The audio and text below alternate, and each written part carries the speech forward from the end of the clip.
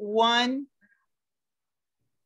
Welcome, everyone, to another episode of Just Among Friends. I'm Lori Hines. I'm the co host of this Zoom show, and um, I'm um, joined by other co host Mike Isley with Texans for Israel and Ann Stacy with Texans for a Safe Israel. I want to um, do a quick announcement before we get started with today's speaker. So let me do a quick screen share to share with you upcoming speakers. Bear with me one second.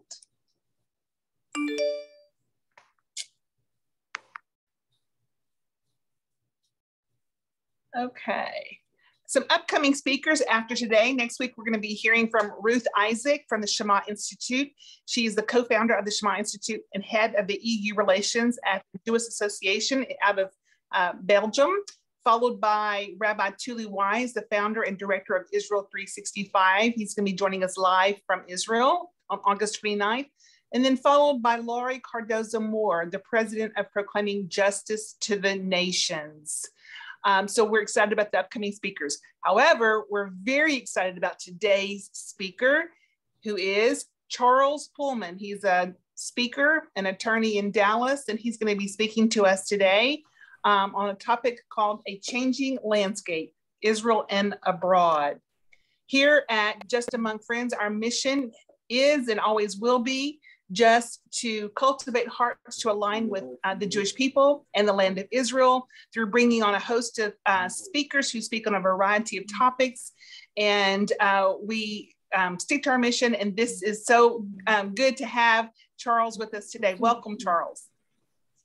Thank you very much. Uh, it's a pleasure to uh, be here uh, on this uh, Sunday afternoon or Sunday evening, depending upon where in the world you might be. Um, the topic I want to talk about tonight, today is uh, a changing landscape, Israel and abroad.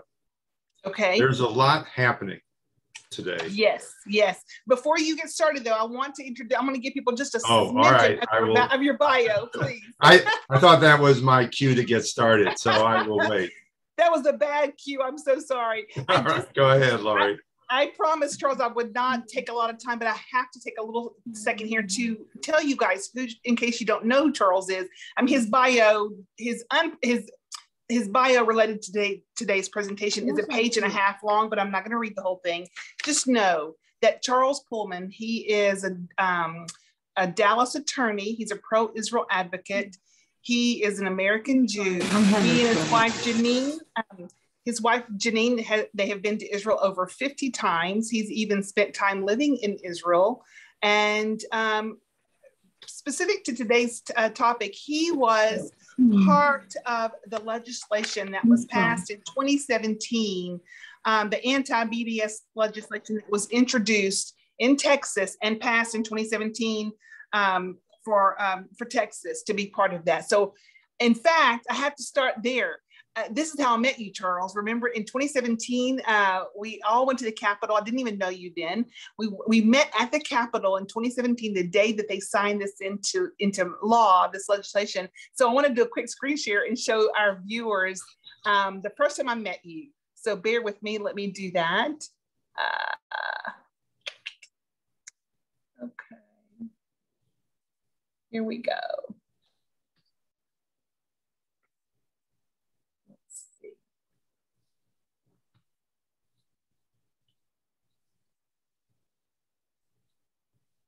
Okay, here we go. Here is the picture of the day I met Charles Pulman in Austin, Texas. This was a group of Texans that stood with Israel in the state capitol. There's Charles holding the flag in the very front, and there I am in the behind the flag in the white jacket. and I'll never forget that day. Uh, you were there, and you were passing out little lapel pins of the Texas flag and the Israel flag. And I still have that lapel pin. that was a great day. That was a great day. Um, so before you start in onto today's topic, I just have to acknowledge uh, some people that just showed up. Welcome to all our friends. Uh, Pastor Swaggerty, it's such a joy to have you joining us again. Welcome, my friend.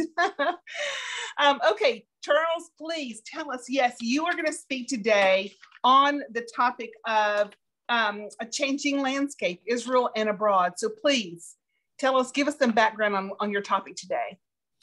Thank you, Lori. And then uh, hello again to everybody and to those that have just joined us. It's a pleasure to be here. It's a uh, passion of mine on this topic, and it's a real honor for me to uh, discuss this topic with you. Let me tell you what I plan to do in the time that we have today uh, in terms of an agenda. I think that in order to, to better understand what is going on today with regard to Israel and the Middle East and the United States as its relationships with Israel, that we have a common understanding of some facts. So I want to give an overview of some uh, historical facts that I think are relevant to help us understand the rest of the discussion that we're going to have today. In that connection, and then I want to talk about the challenges that Israel is facing, positive developments that are also happening with regard to Israel and the, the Middle East.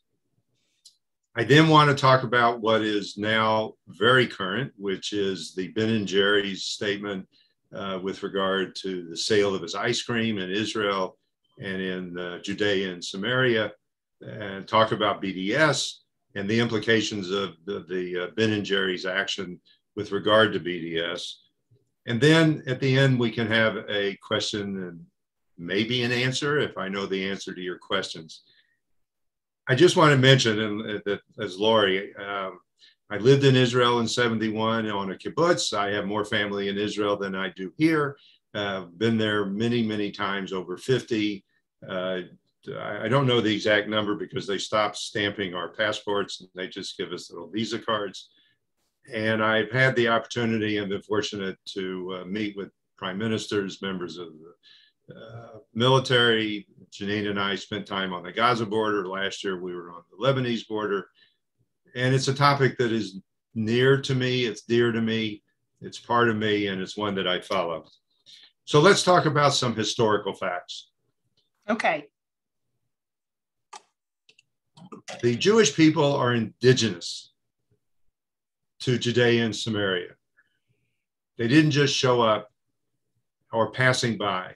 Several years ago, Janine and I went to a mosque here in Dallas where the founder of Students for Justice in Palestine spoke, in which he said lots of things that I've read, but now I heard it firsthand. He said the Jews are just passerbys in, in, in Palestine and that they have no connection to Jerusalem or to the Old City or the Temple Mount. But in fact, the Jews are indigenous and the Jewish people are indigenous. In not only you can read the Bible to know that, but just from a historical point of view and with all of the excavations. If you ask about the Palestinians and the pro Palestinians, they will say the Jews have no connection with that land. Judean Samaria was the name of that land. It was changed to, Palest- to Syria Palestinia by the Romans after the Bar Kokhba revolution in about 150 AD. Zionism began as a movement of the Jewish people in the late 1800s. It was as a result of the anti Semitism and the pogroms that were growing in Europe against the Jewish people. Um, and it was a, a movement to restore the, the uh, Jewish homeland for the Jewish people. The, the legitimacy of Israel today, in, of modern Israel, really begins with the Balfour Declaration in, 20, in uh, 1917. It was adopted by the League of Nations in 1922 at the San Remo Conference. It was then created the, the British mandate that England had to uh, facilitate the establishment of a Jewish homeland in what then became known as Palestine, which at that time was what we called it a Jordan, what is commonly called the West Bank, what is known as Israel, and also Gaza. But then in 1922, England split off, basically awarded what is now Jordan, but they called it then Transjordan to the Hashemite family. Uh, there's a lot of political uh, reasons for that. And what left from the original British mandate is the mandate as a Jewish homeland was essentially 22% of what was originally part of the uh, uh, League of Nations resolution that was passed. There was a legally binding obligation that was then assumed and ratified by the UN when it was established after World War II. The point of my make, making this is that there is no occupation by Israel of what is called the West Bank, because the West Bank, frankly, was never a entity. It was never a legal uh, uh, entity. There was never a Palestinian people, but it it was first by the Ottoman Empire. Well, not first, but beginning uh, in about the, the 1500s. It was controlled by the Ottoman Empire, all of the Middle East. Then at the end of World War One, uh, the, the uh, Ottoman Empire was dissolved and its lands were divided. And then it became under the control of the British Mandate. And then in the 48 War uh, with Israel's independence, Jordan captured the West Bank and annexed it, which was only recognized by two countries, which was Pakistan and England. And then in 1967, in the Six Day War, Israel captured the West Bank, which was part of Jordan. And Israel has never annexed the West Bank. I make this point because today in the media, whether it's the print or the TV or in the politicians that we hear speaking, uh, it's referred to as the occupied territory. It is not occupied because it was never a legally constituted area of, of land.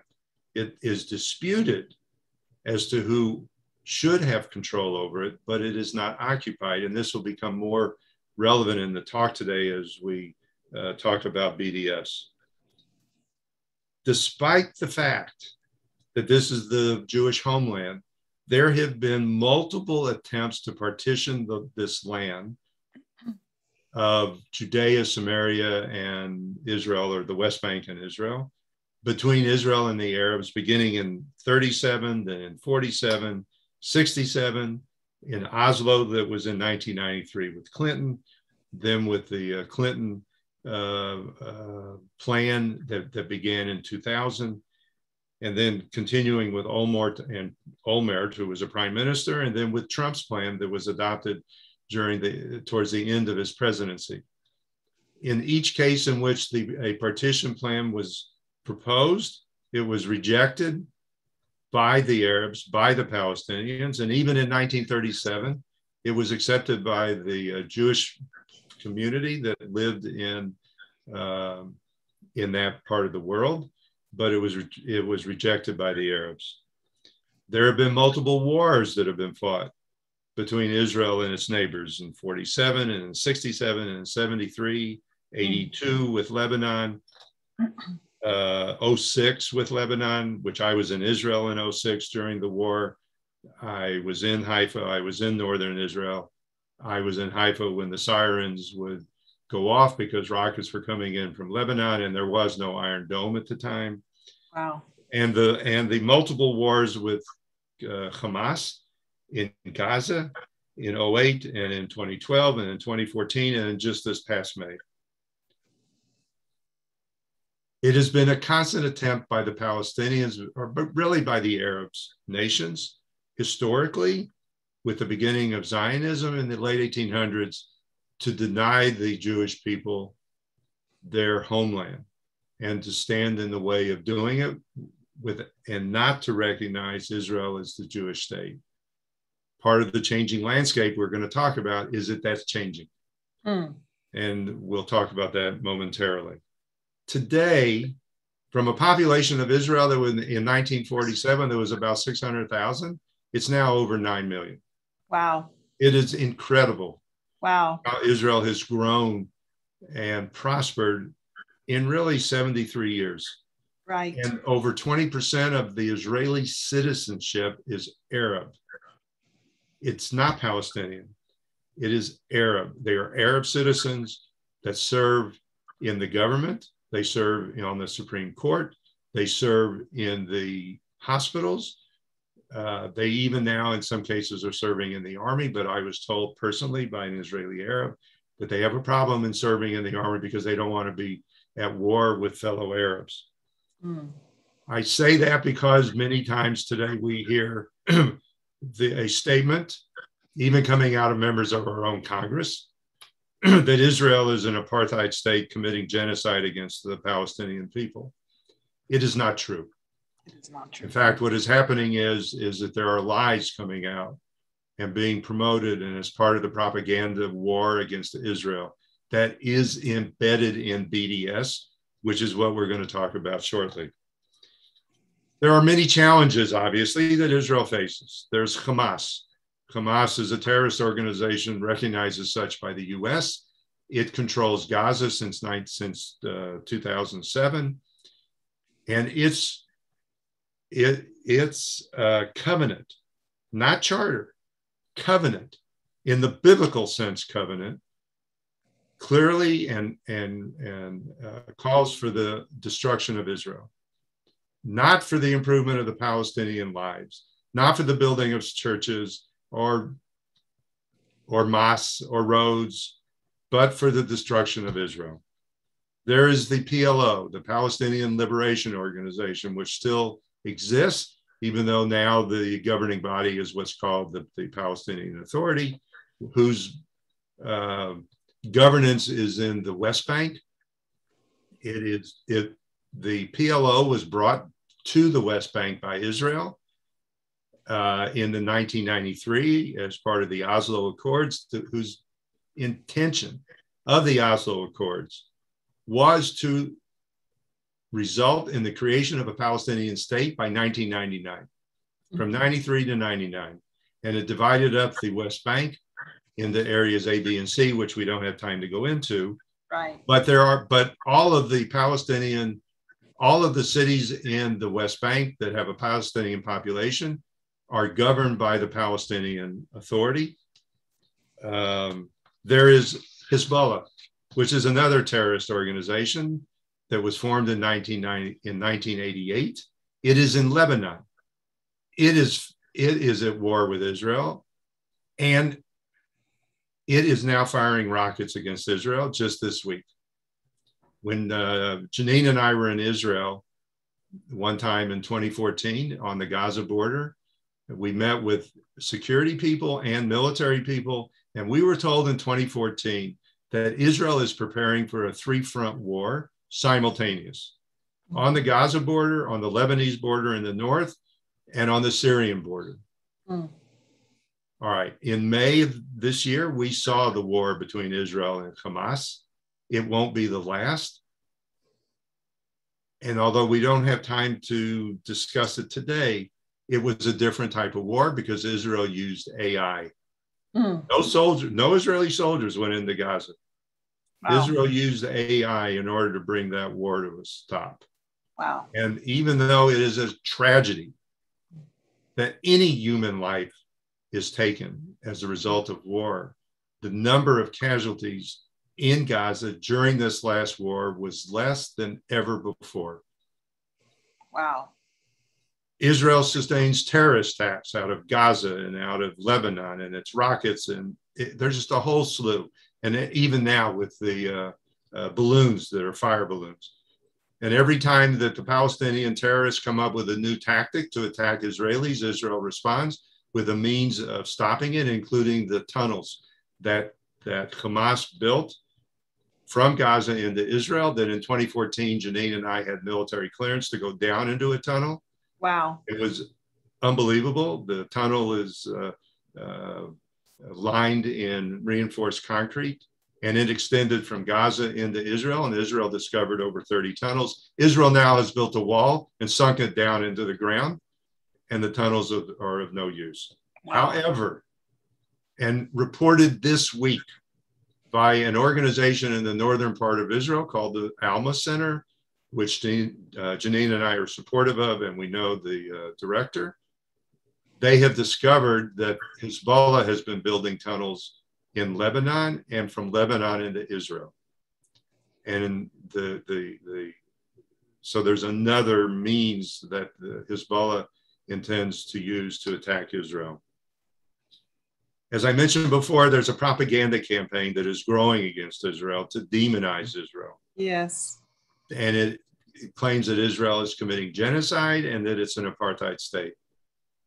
If Israel is committing genocide against the Palestinian people, which it's not, then it's doing a very poor job because right. the Palestinian population is growing. Right. And within the state of Israel, as I mentioned, the Israeli Arabs are a part of Israel. Now, Israel does have a problem that did become manifest again from 2000 in May of this year during the war with Hamas, where there is a radical element of Israeli Arabs that engaged in rioting mm. in Israel.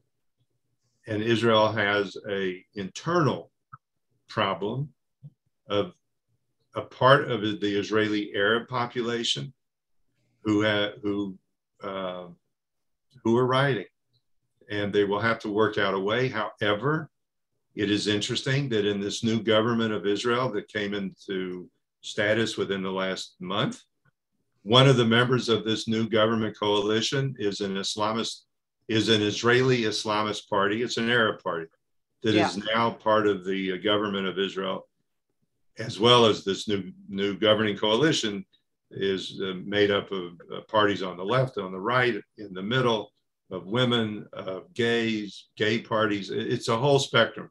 Hopefully, right. this this uh, governing coalition will last. There's a Israel is facing what is called uh, intersectionality, where we see it here in the United States, where groups that claim that they are oppressed now believe that every oppressed group in the world has has a common uh, relationship, and we can see that most clearly if you read the the uh, Black Lives Matter charter, mm. which is at m4bl.com. It its charter. What? Hold on. Okay. It's at m4bl.org. Yes. Sorry, it's m4b. That's my wife who always stands to correct me when I'm. it's at m4bl.org. It is the Black Lives Matter Charter. And part of that charter openly calls for the destruction of Israel. Now, what does the existence of Israel have to do with improving Black lives? I don't know. Nothing. But it is part of it. The other challenge that Israel faces today is Iran and the JCPOA that was adopted by Mr. Obama that Mr. Uh, that our current president uh, wants to reestablished, but apparently is having some problems from Iran. We are witnessing today, as we sit here today, the collapse of Lebanon. And Hezbollah is starting to gain influence and power in Lebanon. Yes. And as I mentioned this week, is starting to increase it, the number of rockets that is firing into Israel. We see the involvement of Russia now in Syria. There's BDS that we'll talk about. And unfortunately, and of great concern, is an increase not only in the world, but in the United States of anti Semitism. Mm. There are areas of the United States in New York and in California and in other cities where there's a heavy Jewish population mm. where Jews are being attacked on the street. Okay. That's when right. I was in Paris in 2016 with the Jewish Agency, which is a quasi government Israeli agency, we were told in downtown Paris that if you that when you go outside, don't carry, say, or do anything that that, that could indicate you're Jewish, because you could be attacked, and the attacks are coming from the Muslim community. Mm. I never believed in 2016 that it could occur here in the United States but it is. Mm. It is of great concern. It is of great concern to the Jewish community here in the States because it appears that anti Semitism is becoming mainstream. Mm. And of even greater concern is that a substantial amount of the anti Semitism and the rhetoric is coming out of members of our own Congress. Mm. Those members include um, a member na- named Tlaib, and um, AOC, Cori Bush, Andre Carson, Mark Pocan, Ayanna Pressley, and Betty McCollum. In my opinion, those individuals spend more time condemning Israel and castigating and trying to defame Israel than they do attending to the matters of our own country. Just this week, those individuals signed a letter calling upon the IRS to investigate organizations that may be that charitable organizations who they claim are funding the illegal Jewish settlements, Jewish communities in the West Bank, and that the IRS should start to investigate. Frankly, that scares me a lot. That members of Congress are, are calling upon a US agency to target individuals. Yes. If that had occurred under the Trump administration, Congress would have called for an immediate impeachment. That's right. Here it is. These members of Congress are calling for it. And as far as I know, there's been no pushback by, and they're all Democrats. Has there's been no no statement by any other member of the Democratic Party, much less Ms. Pelosi, condemning such a statement and calling upon the U.S. right IRS right to just investigate and target. So so so, so why it, why is that? Forgive me for interrupting, but you know, in your opinion, why are we not hearing from Pelosi and other people pushing back against this horrific anti-Semitic narrative coming out of Congress? Well, I will tell you that I was at a fundraiser for Congressman Van Taylor a couple months ago, who's a Republican member of Congress from Collin County. I asked him why Congress had not passed a resolution condemning anti Semitism. Anti Semitism is not your normal bigotry. It has a long history, long, long history, and it is different than other types of bigotry. Congress, and I was referring, for example, that when we saw recently the attacks upon Asian Americans, Congress spoke out. When there's attacks on the Muslim community, Congress speaks out. I asked Congressman Van Taylor why Congress isn't speaking out about the anti Semitism against the Jewish community. And his answer to me was Congress is selective on who they speak out against. Now, he wasn't speaking for himself, he was speaking about Congress as a whole. The concern I will tell you in the Jewish community today is that, is that anti Semitism is becoming acceptable and mainstream. Yes. I will tell you that there are members of the Jewish community today who think they need to consider moving to Israel. It is a very difficult time. The Jewish community in the United States is looking to other Americans and to our governments to speak out about anti Semitism because, as we've learned throughout history, what starts with the Jews doesn't end with the Jews. Right. So, those are the challenges that we face. But let me talk about the positive things as it regards Israel. Israel signed a peace treaty with Egypt in 1979 and it's held. It signed a peace treaty with Jordan in 95 and it's held. There were the Oslo Accords in 1993, which unfortunately have failed. Uh, but it was an attempt to bring peace and create a two state solution that everyone talks about, but is probably today and in the near future unattainable. Israel withdrew from Lebanon, that it had invaded in 1982 to stop the terrorist attacks and the rocket attacks from Lebanon into northern Israel.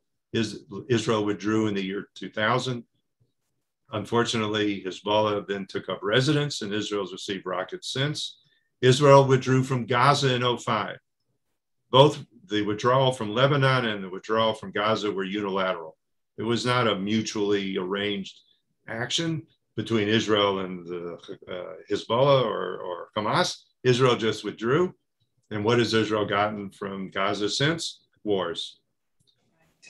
But those were all attempts that Israel has made to bring peace and quiet to that region.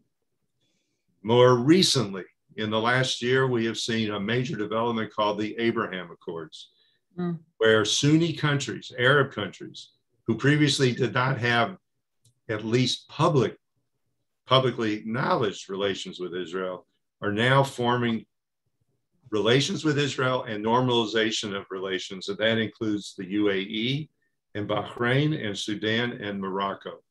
Mm. And that train really got accelerated in the last year of the Trump presidency.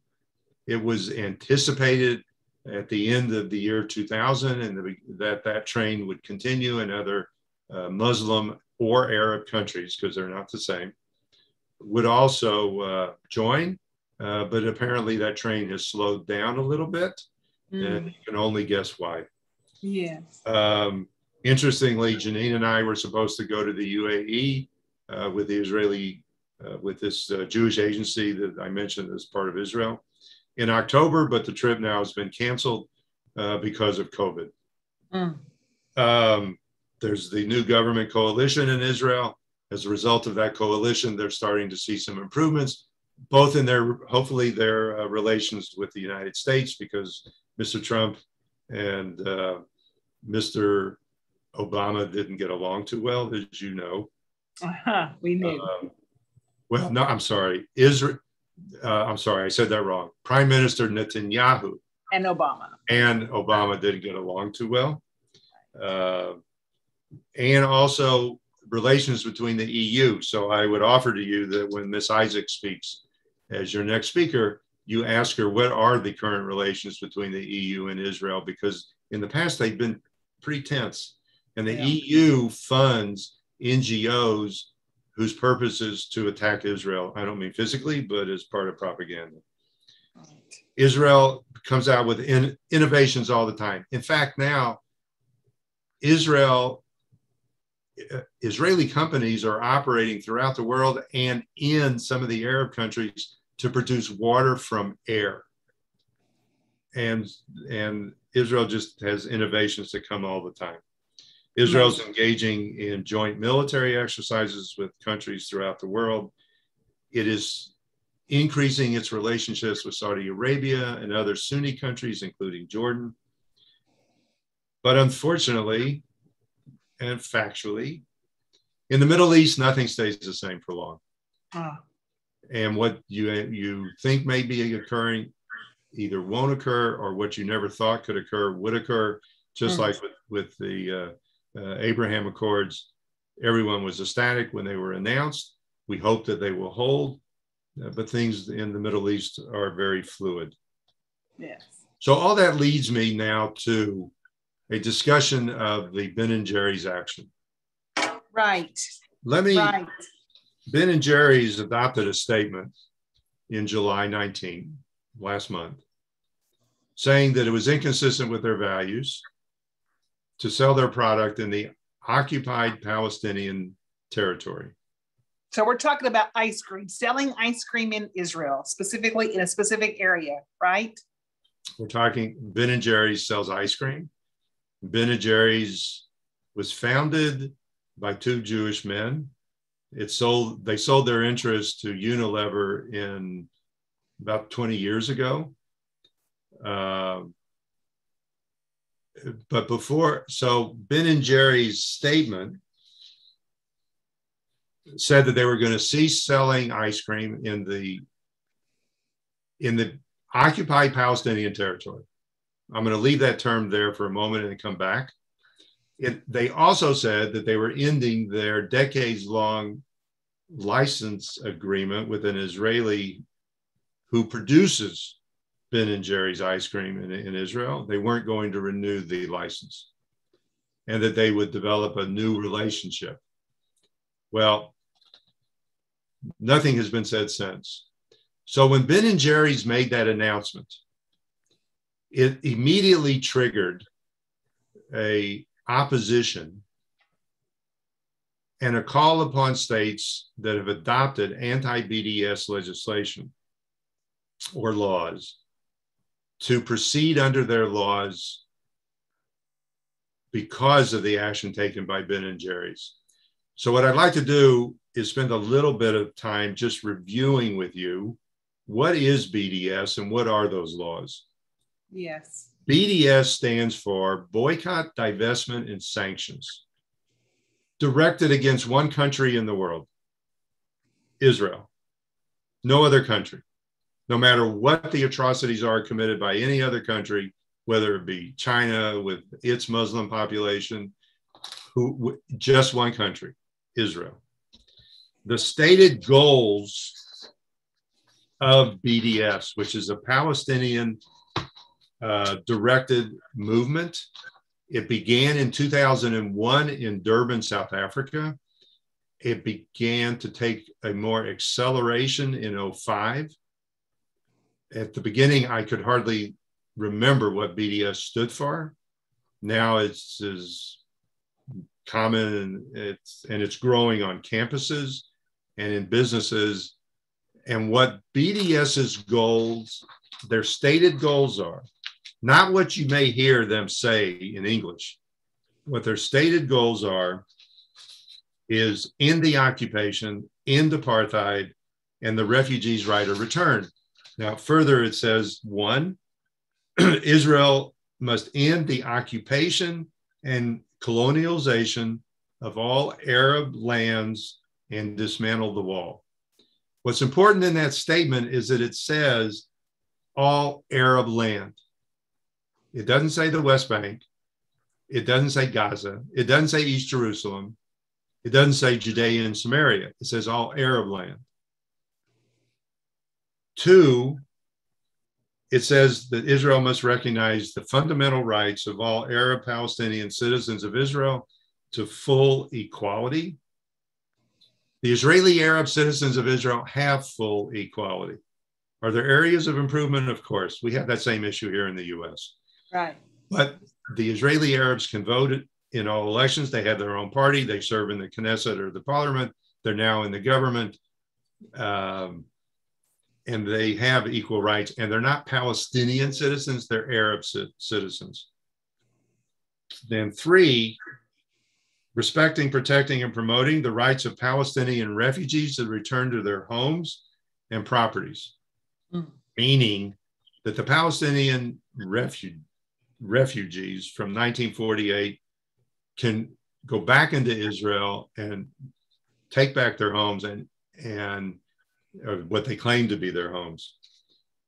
The result of all of this is the the destruction of the state of Israel. That's their main goal. No, that's that is their goal. That's their goal. They there is nothing in the BDS about improving lives of Palestinians living in the West Bank, about bringing more jobs to them, which now they have jobs in the West Bank in Israeli owned companies, about build, building hospitals. BDS is not about improving the lives of Palestinians, it's about the destruction of Israel. For example, Omar Barghouti, who is a founder of BDS, has, is quoted as saying, We oppose a Jewish state other leaders of the BDS movement have been quoted as saying bringing down Israel really will benefit everyone in the world.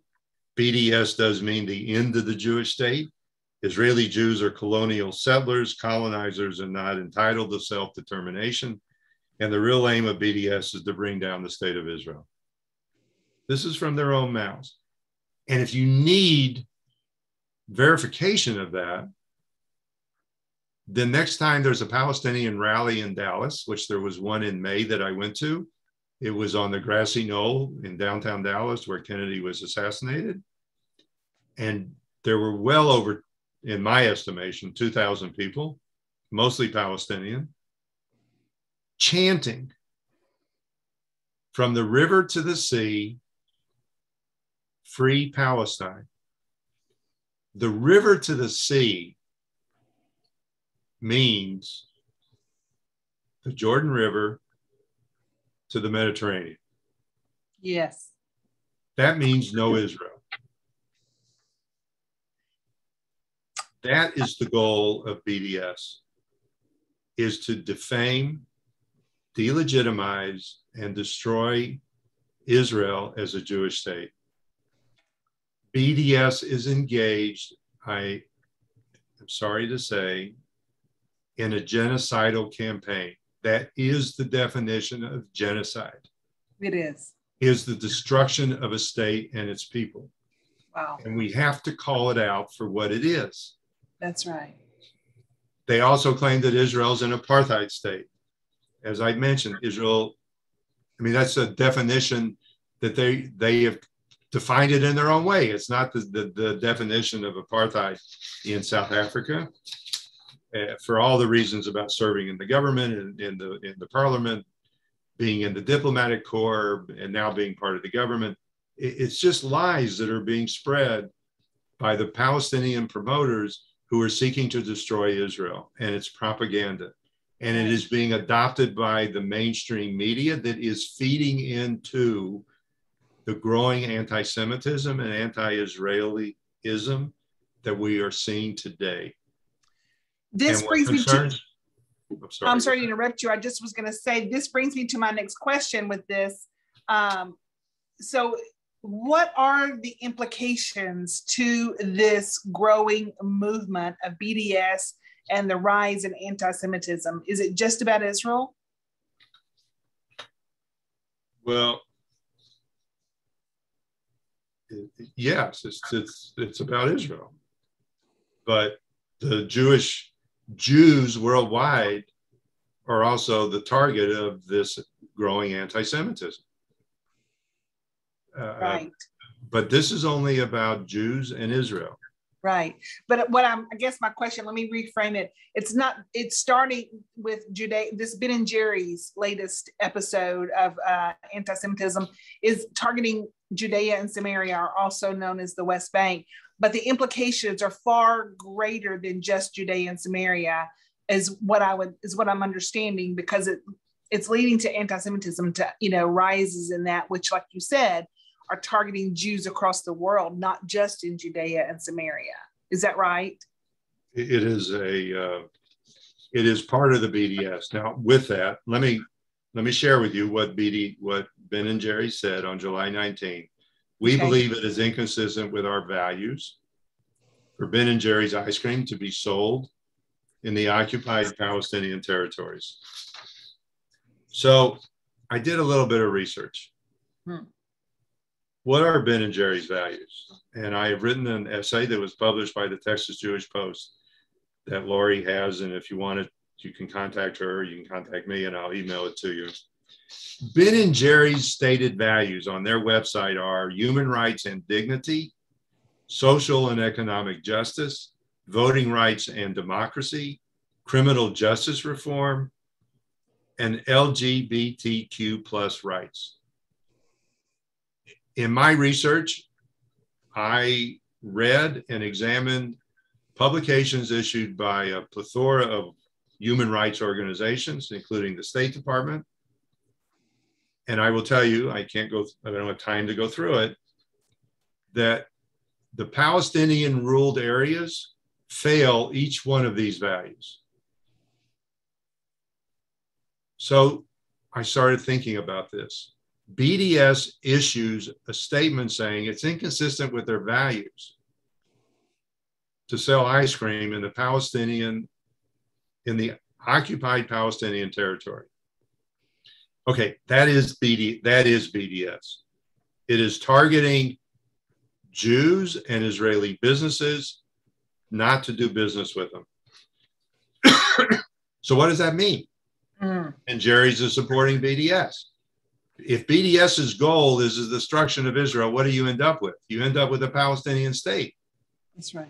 When you look at what's occurring in the lives of the Palestinians in Palestinian ruled areas, they don't, they're not living under conditions that meet any of the of the Ben and Jerry values. Ben and Jerry's is just bigoted. They're not seeking to improve the lives of Palestinians they're seeking to defame and delegitimize and join the BDS movement. And, and the chairman of the board, a woman named Mittal, has a long history of anti Israel activity. Mm. And even though she said she's not anti Semitic, if your goal is the destruction of the nation state of the Jewish people, and that's the only state in the world you're targeting, that is anti Semitism. Yes. So it is disingenuous for Ms. Mittal or anyone else who is a proponent of BDS that includes these members of the, our own US Congress to be saying that they're not anti Semitic, but they support BDS. BDS is anti Semitic. Right. And when, when BDS makes the comment about in the occupied Palestinian territories, their statement doesn't define what geographic area that means. Ah, right. Does that mean those areas of the of the West Bank that are Jewish communities and neighborhoods? Right. Does it mean all the West Bank? Which, by the way, this also means East Jerusalem, which includes the Old City, which includes the Dome of the Rock and the Western Wall and the Church of the Holy Sepulchre. That is what they consider to be the East Jerusalem. My view is, is that the occupied, that what the Palestinians mean by occupied Palestinian territory is all of Israel. Mm. Now, you could look to the UN because, as you might remember, in in uh, December of 16, yes, the UN Security Council passed Resolution 2334 that it was publicized as being a statement against Israeli quote settlements in the West Bank. But in fact, it was much more than that. And it includes a statement that I'm reading that said the establishment by Israel of settlements in the Palestinian territory occupied since 67, including East Jerusalem, has no legal validity. The UN Security Council defined Palestinian territory as being all of the West Bank and East Jerusalem. For those of you that have been to Israel, and for those of you that will go, and for those of you that study it, Israel preserves, Israel is the Holy Land. Mm. Although I have talked to many groups for many, many years, uh, when I, many times I will ask people who haven't been to the Middle East, where's Israel? They don't know. Well, then where's the Holy Land? They know. Mm. Israel is the Holy Land to the Muslims, the Jews, yeah. and the Christians. Yeah. And Israel preserves the Holy Land for all of us. Right. Of any religion, of any faith. You can go to Israel and go to any religious site in safety and security. That's right. They're not being destroyed. That's right if you go to a Jewish religious site in a Palestinian controlled area, it doesn't exist anymore. Right. They were destroyed. That's right. In the article that I wrote that was published called The Hypocrisy of Ben and Jerry's, I go through an analysis based upon my research of what's occurring in the Palestinian ruled areas. And one of them is not only is there no recognition of Jews and a defamation of Jews and a delegitimization of Jews and Jewish sites, it's also against Christians. Oh, right. And I would offer to you that if the land that we know of the Holy Land came under the control of Hamas, not only are the Jews in a in a problem, but so are the Christians. Mm, wow. And this campaign of BDS to destroy Israel has to be stopped. Yes. Now, what is being done to stop it? And beginning about five years or so ago, there was a campaign in the United States to have states adopt legislation that became known as anti BDS legislation. And I had the fortune to be one of the leaders, one of the, I, I worked with the Texas legislature and the author of the Texas bill as part of that of, of the Texas adoption of its anti BDS legislation. And today, there are 33 states that have adopted some form of anti BDS law, whether it be a statute or an executive order. I'm not going to go through the whole Texas statute with you, but I just want to remind you, I just want to reinforce there are two aspects of uh, anti BDS laws, and some states have adopted both, and some have adopted one or the other. The two aspects that Texas adopted both are one, Texas, no Texas agency, governmental agency, all the way down to the school districts and city councils, can enter into a contract with a company that, re, that will not sign a certification that they are not participating in a boycott of Israel. They can still boycott Israel. They can stand on the highest building and defame Israel and call for Israel to be destroyed and cease to exist. But this legislation says that if you're boycotting Israel, the state has no obligation to enter into a contract with you for your goods or services. Right. The second aspect of the BDS laws that have been adopted by some states and not by others is that if you are boycotting Israel, then the state cannot, eh, then the state funds, like the pension funds and retirement funds, cannot invest in you. Well, that's really public companies. Mm. So bringing it back to Ben and Jerry's, Ben and Jerry's statement said that its ice cream will not be sold in the occupied Palestinian territories, wherever that, but assume that means the West Bank. Right. Okay. Texas statute says it applies both to businesses and in the state of Israel and to territory controlled by Israel, which is, was intended to mean the West Bank and quote East Jerusalem, although East Jerusalem is part of Israel. Right.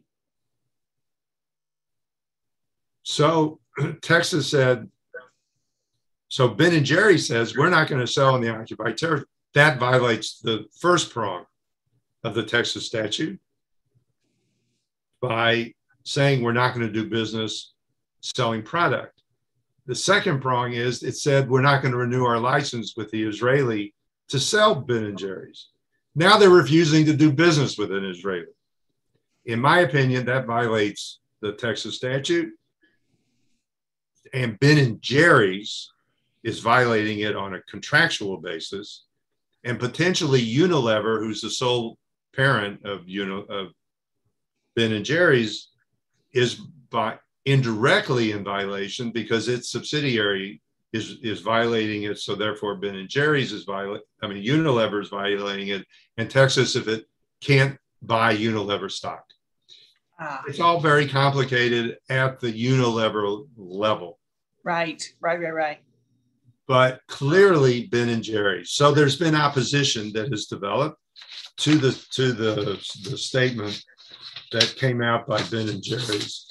and that opposition has developed by the states, mm-hmm. not all 33 states, but most of them, or, or many of them. Interestingly, the franchisees in the United States are complaining to Ben and Jerry's that you're you are tarnishing our brand and you're hurting our own business. That's right. That's right. Organizations have written letters to their states including Texas.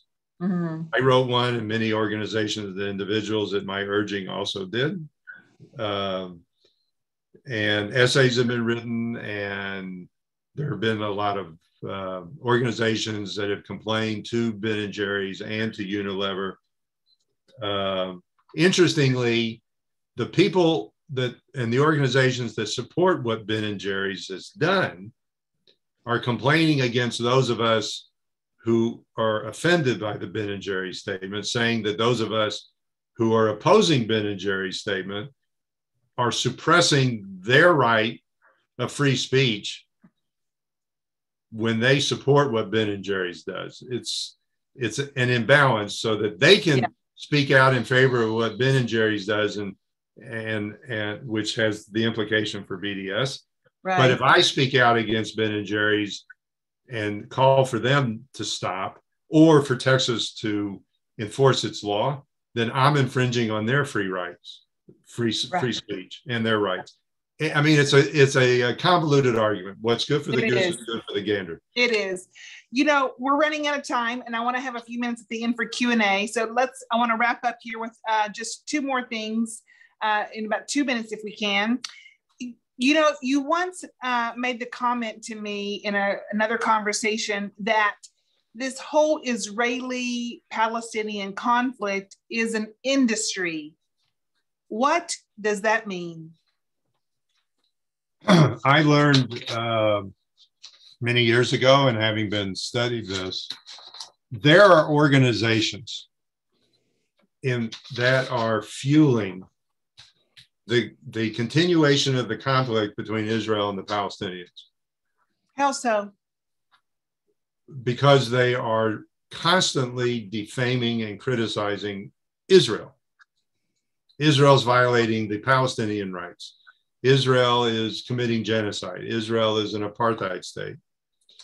There's never, from those types of organizations, any criticism of the Palestinians. Mm. Those organizations are prospering and can only prosper by the continuation of the conflict because if the conflict went away, what would be the reason for their existence? This is the only item on their agenda. There's an organization called J Street. Mm. J Street claims to be pro Israel and pro peace, but yet at every opportunity defames Israel, criticizes Israel. But to my knowledge, and I read and I get their emails, if ever, I don't know that they have, and maybe they have, and I just missed it by a chance, but they don't criticize the Palestinian terrorists, the, the suicide bombings, the stabbings, or any other terrorists, or even the manner in which the, the Palestinians treat their own people. Wow. So there's there's there's these organizations, and they're also coming being funded by the EU that you can ask Miss Isaac about. Right. That are always very critical, and they keep fanning the the flames, right. rather than say to the Palestinians, "Why don't you sit down with the Israelis and end the conflict and bring peace for your people?" You know that Gaza could become a Singapore on steroids if Hamas would want to take care of their people as much as they want to destroy Israel, because Gaza is on the Mediterranean, right next to the Suez Canal, connecting two major continents. But that's not Gaza, that's not the Hamas goal. So it's an industry because it, they keep fueling this conflict, which then they ask for money. Whenever you get an email from an organization, you scroll all the way to the bottom and there's always a button that says donate. Donate, right, right. Really? Right yeah. help us to bring peace and and uh, the rights of the Palestinians donate. Yeah. Well, I right. wonder how much there of that donate dollar goes to someone's salary. Right. So when I say that this is an industry, it's an industry, it's a business. These organizations exist for the sole purpose of keeping themselves alive and paying themselves their salaries because they're not doing anything to, to, to bring about peace. They're right. not bringing jobs or industry or right. monies to the Palestinian areas to improve them. They're just writing articles and speaking out. Right. Okay. Thank now, I, I just want to mention. Yes. At this point, Ben and Jerry's has not retracted their statement. If I it, it, and Unilever has not disgorged Ben and Jerry's. Ben Unilever said they're not a supporter of BDS, which maybe they believe, but it's disingenuous mm-hmm. because they own a company that is promoting BDS openly. And they, I guess, because of some corporate documentation, can't control what Ben and Jerry's does. The implications of what Ben and Jerry's does is that if it's not rescinded, other businesses are going to start have have pressure be put on them to do what Ben and Jerry's did. That's right.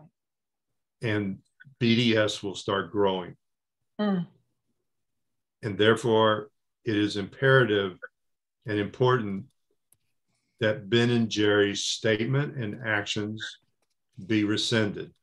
Yes. And harshly criticized, not only because it's the moral thing to do, but that so that other businesses, when Airbnb said they weren't going to do business with people in the West Bank, there was a hue and cry, and Airbnb rescinded their action. Right, fantastic. Okay. Thank you, Charles. We have questions coming in, um, and I know I want to ask you about a comment that you um, quote, I mean, a quote that you've um, said before from Rabbi uh, Sacks of blessed memory. And can you uh, please tell us about that quote? And then I want to go to the questions that are coming in the chat box. Well, let me. Rabbi Sacks was the, the uh, former chief rabbi of uh, England. Uh, he died last year, which for me personally, because I read his books and I followed him, was just very, very sad. Mm. Rabbi Sacks said a few things. Uh, one, he said that if you want to know what your enemy intends to do to you, look to see what they accuse you of doing to them. Uh, two, I want to read you something that was in a, in a book by Rabbi Sacks that I just read, and then we can go to Q of A. Okay. Uh, it says, he's talking about faith in God. He says, We have value in and of ourselves. We exist because of God's love. We survive because of his grace. Though we face the unknown, we are not alone. Faith is the space we create for God. Faith is not certainty, it is the courage to live with uncertainty. Mm. And I would suggest to you that's the time that we live in today. We live in a time of great uncertainty, both with the virus, with the political, with the economic. When you look around the world and there seems to be rioting and upheaval, there's a lot of uncertainty. Yeah, Rabbi Sacks also, then I'll stop. He said optimism is the belief that things will get better. But hope is the belief that if we all work together, we will make it better. Mm. And that's what we have to do. We have to work together to make things better, mm. not just sit back and hope it gets better one day and leave it up to someone else to do it. So that concludes my comments. I appreciate y'all's attention. I hope I didn't, well, you hope did I didn't go on too long or spend too much no. time on the topic. There's a lot to talk about. I'd be happy yes. to come back one day and get in more into uh, topics, but there's always something happening in the Middle East. Thank you, Charles. So, I just want to applaud you uh, first because I you are uh, so wise and your wisdom and your expertise in this particular topic is profound and I don't know that we've had a speaker who could encapsulate so much information in such an order to help us understand what's going on locally in Israel, but the implications worldwide for the Jewish people. And then um, ending with the information and the quote from Rabbi Sacks was just the icing on the cake. So thank you for sharing that uh, with you. us. Yes, we do have some questions. Briefly, let me go into the chat box and see. Uh, David, thank you for your question. His question is Have you contacted HEB supermarkets and maybe supermarkets in general about the selling of Ben and Jerry products? And the second question is too, is what about legal action if Ben and Jerry's is intimidated by others? Imitate. Imitate. Imitated. Oh, I'm sorry, imitation. So I, it, I have mixed feelings about going into a business, a retail business, and suggesting that they not buy not no longer sell the product. I don't really. I, I can see the positive. I have a concern about it, me telling them how to conduct their business. So my my preference is I just don't buy that product, and I encourage other people not to. And if it sits on, I've even said to my wife, I'm going to go in and buy all the Ben and Jerry's at a, at our local grocery station, off of the counter, and then I'm going to pay for it, and I'm going to give it back to them and say I just paid for it, but Ben and Jerry's is a bigoted country company and you shouldn't sell it. So throw it away. And tell them what I'm doing and let them know that I'm not buying the product. It's not them. It's not the not the HEB, for example, that I'm that I have a problem with. HEB is not involved in this. Right. They're just trying to, you know, uh, sell what the public wants. So that was my answer. Just don't okay. buy it. And there are supermarkets around the United States and elsewhere in the world that have actually taken the action of saying we're not buying any more Ben and Jerry products. Yes. The second I, one about what legal action of Ben and Jerry's is imitated by others. Yes. Look, uh, uh, if a company uh, I don't. I'm not aware. Well, there may be a violation of a federal law if a company uh, engages in, in a boycott, but generally that's pretty hard to sustain. Um, that because a company can say, I'm not going to sell the, the, the into any area. There's no law that prohibits a company from saying you can't not sell in an area. That's up to the company to decide. Question is, do you have an obligation to do business with that company, which are like these anti-BDS laws? Um, I think that there's public pressure that that can be applied. The uh, but it is not a violation. It's not a criminal act if a company says, "I'm not going to do business with Israel," right. unless it's engaged on a statewide level. Now, I will mention that the Human Rights Council Council of the UN has published a list of companies that they claim are uh, particip- participating in the in the occupation and Israel's occupation of the um, of the uh, occupied Palestinian territory, and are encouraging governments uh, not to do business with those companies. That, and there yes. may be some action there. Right, right. Okay, thank you for that question, David. Um, Anybody else have any questions or comments? Please just wave at me so I can tell, and then please unmute yourself. Let's see. All right. I don't see any questions or comments. Um, we are going to send the link to Charles's article that he wrote for the Texas Jewish Post out in this email. And we are also going to send a link to uh, the headline that he mentioned earlier from our uh, the Congress people who they call themselves the squad, who are ramping up support for the BDS movement. Uh, Rashida Tlaib, AOC, and the others that um, Charles mentioned earlier in today's presentation. I will send you guys the link to that as well. Um, so please, guys, um, as you just heard Charles say, you know, to influence the public to not buy Ben and Jerry's. Um, you know, go to your peers, go to your friends and family and explain what's going on. Share this video to educate the public of what is going on and the implications. If Ben and Jerry's can be successful with this, like Charles said, other businesses are going to be pressured to join in lockstep. And that is not good. Can I make a comment to, to David's question? Yes. These these are public companies. What can be done is as a shareholder, Mm. Getting involved in shareholder meetings because what the Palestinian proponents are doing is trying to get resolutions adopted at shareholder meetings mm. of public companies to engage in BDS.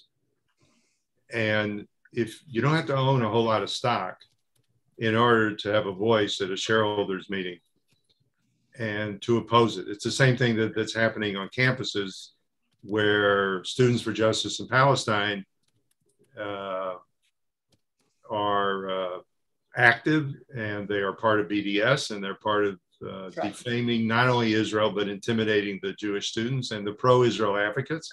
That's right. Even the Christians uh, also. That's right. And they are trying to get resolutions passed to, to boycott Israel, and the pro Israel activists on campuses, the students, are getting more engaged to oppose it.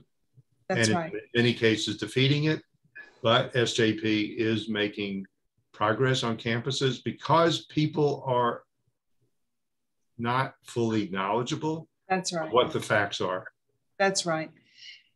Yes, and that was David's follow-up question just now about campuses. You know, what can be done in regards to that? And just my own two cents is that that is a problem. And you just touched on that, Charles, about campuses. It's a hotbed for propaganda, and they're doing a great job at it. And we've got to have campuses push back, uh, organizations that are pushing back. And I know there are. I know Stand With Us, I think you Charles work with Stand With Us in some capacity, maybe you're on their boards for your region, but um, they are pretty active on campuses. Am I right?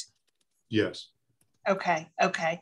So it's a never ending battle, but that's what you have to do. We have to continue to push back and edu- so share this video with if you know someone about to go off to college or someone who's in college who may who un, undoubtedly is in, being encountered with the propaganda on campus. Um, share this with them, educate them because they don't know the truth, and that is the next. Um, that is the the target we need to be targeting is the the college age kids in high school. Uh, I know the intimidation is strong, but you know what? That doesn't matter.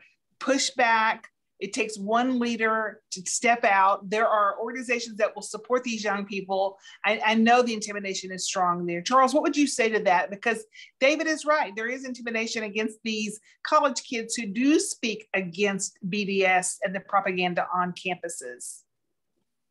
Look, it, it's it takes a special type of person to lead with their chin, to step out and take a risk that you're going to have arrows shot at you. I was in St. Louis in 2017 speaking throughout a, a, weekend about BDS. And on Monday morning, an organization called uh, Jewish Voice for Peace, which I've come to learn that if if a word like peace is in your title, be careful because it probably doesn't mean what they what you would like it to mean. Right. Jewish Voice for Peace is an organization who's who has adopted a policy again calling for the dismantling of Israel. They are anti-Zionists, which, by the way, Zionism is strictly a movement for the self-determination of the Jewish people and their ancestral homeland. So it take so Monday morning, JVP posted on their webpage nationally, Facebook nationally, a post calling me out by name as an attorney and calling me a racist for defending the racist state of Israel. The uh, BDS proponents, the anti Israel activists, are very loud. They are uh, not hesitant of engaging in intimidating tactics. Uh, or discussing the issues. And most people just want to go about their lives. Mm. They're not, most people are not confrontational uh, and they shy away from it. If you're in college, you just want to get an education and then, you know, get a job and get on with your life. It's not to go and confront the SJP, which I think are being supported outside of the campuses and organized. Someone's paying for all this. That's right. It doesn't happen that when I, uh, some money's coming from somewhere. That's right. Uh, the the Palestinians have a very simple uh, statement, which is, "This was our land, and the Jews took it." Yeah. It's not so hard to understand it if you don't know the history. That's right. That's um, right. I mean, the Palestinians. I, I, you know, when when my wife and I went to the mosque, and we heard the founder of SAP speak, he said the Palestinians were descendants of the Canaanites. Um, that was uh, quite a revelation to me. Um, so well the misinformation is just out there and and like i think it points back to what you said is educating these young people so if they're intimidated to speak to go out and speak against the propaganda on campus share the digital content share the digital content with these people. Just, look, we just have to keep working on it. And it's not just Jews, it's the Christians too, because That's right. someone asked me once on a program I was on, is, is uh, Hamas a problem only for Israel? No. Right. Hamas is part of the Muslim Brotherhood, whose goal is to spread Sharia law throughout the world. Right. And they are in uh, affiliated with Iran. Right, right. Hamas is only the visible uh, puppet. Right, and as we speak here today, um, Afghanistan has fallen into the hands of the Taliban, and they are declaring that an Islamic State, and um, they're making progress. So um, this could not be any more timely, Charles. Thank you for your question, David. I don't see any other questions. We're out of time. Uh, please share this video. Yes, it was an honor to have you, Charles, and Janine as well. Thank you for both from both Ann and Mike and myself, and just among friends as we work and we continue to work together, as you say, to cultivate hearts to uh, support the land of Israel and the Jewish people. We will not back down. We will not stop. We'll continue to educate the public. Everyone says thank you in the chat box, Charles. Thank you, everybody. Have a good thank day. Bye bye. We've enjoyed having you. Bye bye, everybody. Thanks for coming.